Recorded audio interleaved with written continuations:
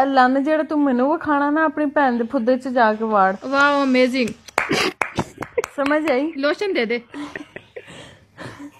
Lotion ਕੀ ਮੈਂ ਨਾਲ ਤੇਲ ਵੀ ਭਜਵਾਉਂ? ਨਹੀਂ ਤੇਲ ਯਾਰ ਜ਼ਮਾਨਾ ਪੁਰਾਣਾ ਹੋ ਗਿਆ ਤੇਲ ਵਾਲਾ ਜ਼ਮਾਨਾ ਰਹਿ ਗਿਆ ਹੁਣ ਵੈਸਲੀਨ ਲੋਸ਼ਨ ਦਾ ਹੈ।